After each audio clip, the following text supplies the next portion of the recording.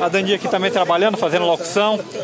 Você que são margosenses, importante também ver esse talento tão importante para Margosa, mesmo morando em Itacaré, mas leva o nome de Margosa, né? Com certeza, Magno. Eu quero a turma da Criativa, a vocês que nos assistem. O que eu tenho a desejar ao nosso amigo Pedro Rega é isso aqui que ele passe dessa prancha para uma maior ainda, representando não só a Margosa, mas o surfer baiano, que tem crescido muito essa modalidade, e ele que é o nosso campeão mirim, eu só, mundial. Eu só tenho que agradecer a todos os colaboradores, as pessoas que vão continuar contribuindo com esse nosso amigo, e a vocês da imprensa, que tem ajudado muito esse garoto, que sirva de exemplo para demais outros garotos em nossa cidade. A Margosa. Bom trabalho. Obrigado, meu.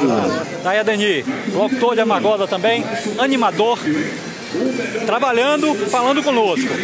A gente trouxe um pouquinho desse stand aqui é, com a recepção de Pedro Veiga, com as medalhas todas é que ele vender medalha ou não? Não, meu amigo, só exposição. Só exposição. É, a exposição das medalhas de Pedro Veiga, de 8 anos de idade, amargosense, que mora em Itacaré. Pessoal está perguntando aqui se é para vender medalha. Não é para vender, não. É muita medalha, mas não é para vender. São medalhas do Pedro Veiga ali.